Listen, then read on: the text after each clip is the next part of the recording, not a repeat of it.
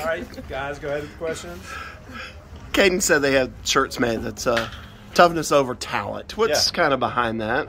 Well, I think toughness has to show up every day. I mean, your ability to, to handle adversity and bounce back from it, uh, to step up every single day and, and give uh, everything you got. And when things aren't going well, uh, you know, you got to be able to flush it and move on to the next rep or the next practice or the next game. And that's where true mental toughness lies. Uh, so, uh, and look, we know the, the level of competition that we're playing in league play and even in our non conference play. We're playing high quality baseball teams where toughness has got to show up. And uh, competing every pitch of every ball game is the only sign that we have on our door. And uh, guys got to be tough. They got to be able to bring that type of focus and energy level every single day. So uh, for us the guys that are going to play for us are the ones that can show that toughness and, and step up to the challenge every single day and compete every pitch After the way last year ended, have you noticed a different energy or a different level of urgency in the guys so far? Well, I think this this year's been phenomenal. Um, you know, the fall went very very well since we came back. Uh, you know, probably the first message I would say that was was sent to me was one where it, it wasn't even told to me. Uh, you know, January third was the first opportunity that the guys could come back and work out on their own. Uh, no coaches were involved. It was all player led. Uh, and, and every player on the roster was here on January 3rd. We didn't start class until January 12th. So our guys literally, uh, for, for nine days or you know however many days it was, our guys were working out in the weight room, doing sprint work, hitting on their own, throwing on their own. It was player led. Uh, and it just, again, just it's uh, it shows the type of leadership uh, that we have on the team with some of the older guys and just how much it meant to them to get everybody back here and working together um, as we get ready for the season. Caden was saying it was as small as having like parts of the stadium that they had to clean up and making sure everybody's on top of stuff like that. I mean, how much have you seen players taking responsibility? Well, it's a big deal. I mean, we we've spent a lot of time trying to develop leadership within our program. Uh, you know, talking about last year, and, and that's one of the things that we really we needed. We needed more players leading the program. You know, you're not going to have great leadership if you don't police the locker room and you don't hold uh, each other accountable. And that shows up when it comes to setting up the field and breaking the field down, keeping the dugouts clean, keeping the player lounge clean, the locker room clean. Um, and, you know, quite honestly, you got to be able to have those uncomfortable conversations with your teammates for the guys that aren't doing what they're supposed to do. So, you know, on the back of that shirt, it says respect the game. Well, you can't respect the game if you don't respect everything about it. And that comes with going to class every day, being on time, uh, respecting the facility, respecting the uniform, respecting the program, respecting how we play the game, how we practice, all of those things. So uh, it's just, uh, again, just a whole encompassing thing that we're just trying to do, and, and the guys are leading it. You know, my goal, and told them this first team practice, my goal is not to have a lot of team meetings. We had a lot of team meetings last year. If I'm having a lot of team meetings, that means that I'm trying to lead the team and I'm trying to get the guys going in the right direction because I see that it's not going in the right direction. So uh, we're just trying to get the guys to lead the program, and they know the expectations. I'm spending more time meeting with the leadership council. The leadership council was voted on by the players, not by me. I didn't. I didn't make make the group. They voted for the group. So you know that group is the is the group of guys that I spend time talking to.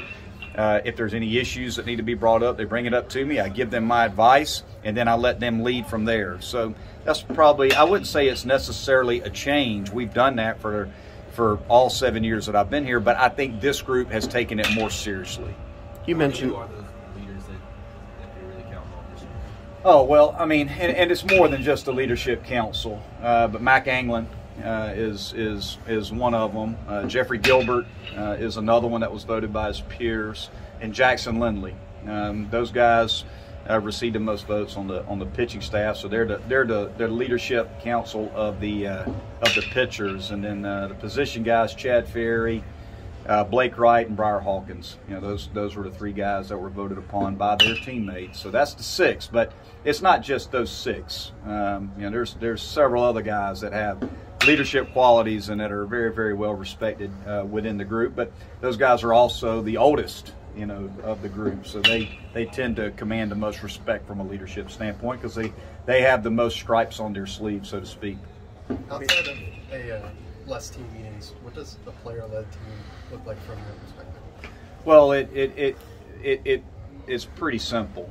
Um, you know, quite honestly, just watch us practice. You know, watch us practice and watch us play, um, and you'll be able to see those types of things. You'll be able to see that you know wherever our players are, if they're doing the things they're supposed to be doing, they're they're locked in on what's going on on every single rep. It's just about competing every pitch, and that means if I'm in the dugout, I should be watching the game pitch by pitch, being a student of the game in the dugout. Um, you know, I, am not a I'm, I'm a big believer in enthusiasm and energy in the dugout, but I think sometimes you know we it, it becomes more about that than it does about paying attention to the game and, and bringing the right type of energy in the dugout towards the guys on the field. So it's about watching a game and learning in the dugout what's going on, talking baseball in the dugout while the game is going on.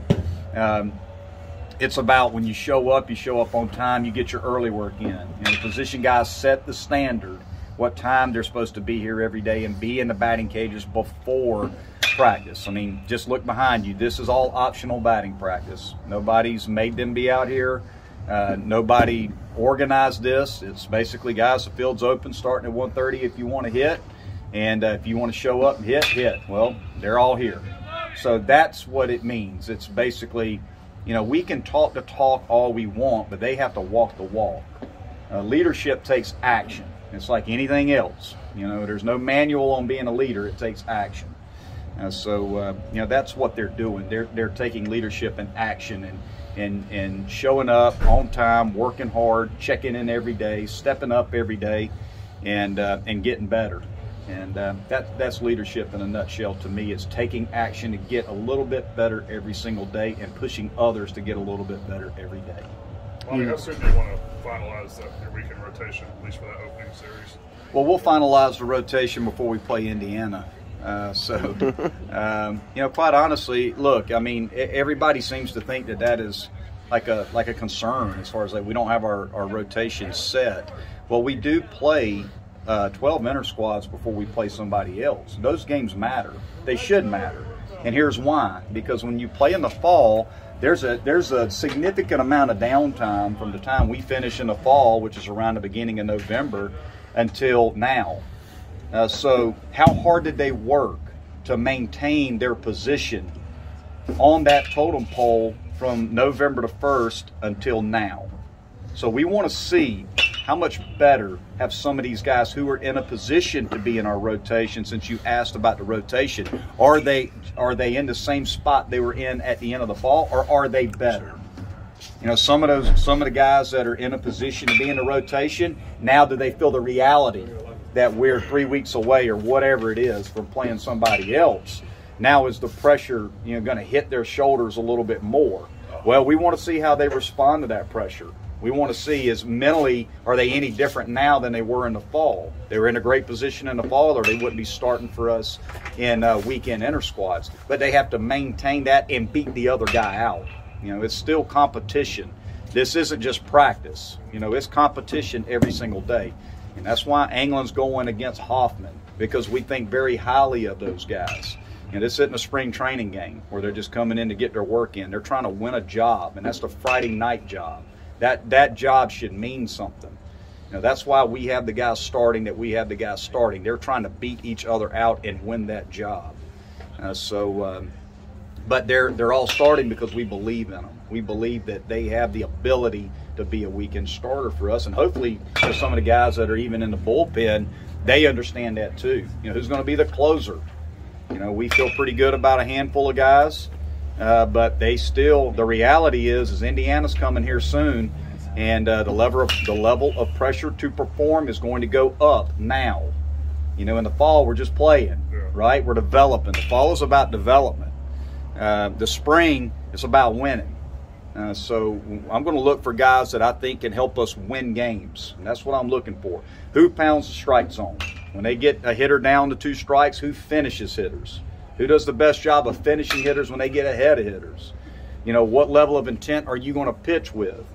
You know, again, if, if, if guys come out here and they treat it like it's a bullpen or a spring training game or just an inter squad, probably not going to be a weekend starter for us. It's really that simple. It matters. Every every practice, every rep, every game matters. Same thing with the position guys. There's still jobs for that are open. Uh, so, um, but that's the beauty of competition, and that's where toughness over talent matters. There's going to be guys that are tougher uh, than some of the guys who are talented, and they're going to beat them out. So, um, you know, I think the guys understand that. This is nothing that I haven't talked about with them, and uh, we'll see what it looks like when we play here. Uh, you know, starting at four o'clock.